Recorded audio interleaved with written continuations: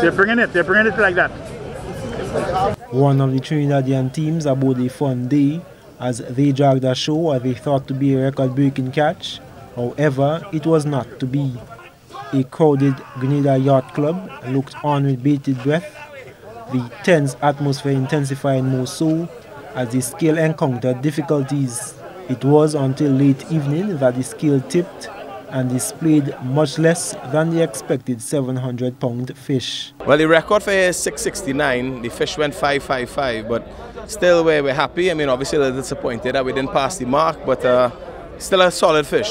Solid, solid fish. Adrian Sabga tells GBN that they were not daunted as the conditions for fishing has been perfect. Absolutely. I mean, Grenada is probably one of the best fisheries in the Southern Caribbean. I mean, Grenada on the whole is always so welcoming. This tournament is always so well managed, and we're looking forward to going out tomorrow and hopefully catching some more. Chairman of the Billfish Tournament Committee, Richard McIntyre, says it lends to the atmosphere and excitement at the Premier Sport Fishing Tournament? Well, you know, it's an experienced team, and they actually thought that, you know, usually when you bring a fish that close to the boat and you look at it, you generally anticipate what it could be.